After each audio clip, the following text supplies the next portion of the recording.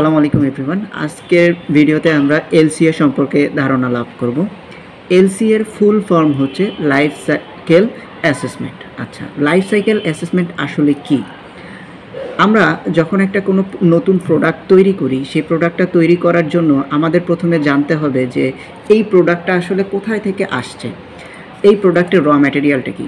এখন এই যে আমি যে একটা প্রোডাক্টের লাইফ সাইকেল অ্যাসেসমেন্ট করতেছি, অর্থাৎ প্রোডাক্টটা জিরো থেকে একদম ফাইনাল প্রোডাক্টে আসা পর্যন্ত কতগুলো ধাপ অতিক্রম করে এসেছে এবং প্রতিটি ধাপে কি পরিমাণ কস্ট কি পরিমাণ পরিশ্রম দেন এটা ইনভায়রনমেন্টাল প্রসেস ছিল কি না এইসব বিষয়গুলো যখন আমরা আওতায় আনব প্রোডাক্টটি তৈরি করার আগে ঠিক তখনই আমরা বুঝতে পারব যে প্রোডাক্টটি তৈরি করা আমাদের জন্য মঙ্গলজনক হবে কি না আচ্ছা যখনই আমাদের লাইফ সাইকেল অ্যাসেসমেন্টের কথা আসবে, তখনই ইনভায়রনমেন্টের কথাটি আমাদের চলে আসে।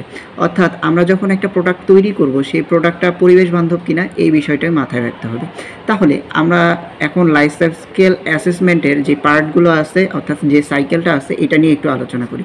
সো লাইফ সাইকেল অ্যাসেসমেন্টের প্রথম পার্টটা হচ্ছে র ম্যাটেরিয়াল এক্সট্রাকশন অর্থাৎ আমরা যে র ম্যাটেরিয়ালটা পাই এটা কোথা থেকে পাই, কীভাবে পাই, এটা ন্যাচারাল রিসোর্স থেকে পাই নাকি আর্টিফিশিয়াল রিসোর্স থেকে পাই এই সব বিষয়গুলো আমাদের কোনো প্রোডাক্ট তৈরির ক্ষেত্রে জানতে হবে। দেন এই যে ম্যাটেরিয়ালটা পাইলাম, একটা র ম্যাটেরিয়াল যে পাইলাম, এই র ম্যাটেরিয়ালটা কি করব? আমরা প্রোডাকশন করব। এখন এই প্রোডাকশন করতে গিয়ে আমাদের কস্ট কত খরচ হয়েছে, আমাদের লেবার কস্ট দেন এই প্রোডাক্টটা যখন তৈরি করতেছি ম্যাটেরিয়ালগুলো ফাইনাল প্রোডাক্টটা তৈরি করার আগে যে ম্যাটেরিয়ালগুলো তৈরি করতে হবে, সেই ম্যাটেরিয়ালগুলো যখন তৈরি করতেছি, তখন আমাদের প্রোডাক্টটা তৈরি করতে যে প্রোডাক্টটা যে তৈরি করব, সেই প্রোডাক্টটা পরিবেশ বান্ধব কিনা, এই বিষয়টিও মাথায় রাখতে হবে। আচ্ছা যখন আমরা আস্তে আস্তে র ম্যাটেরিয়ালগুলো তৈরি করে ফেললাম, তখন কোনো প্রোডাক্টের যে মেশিনারিজ পার্টগুলো আমরা তৈরি করতে পারব কিনা।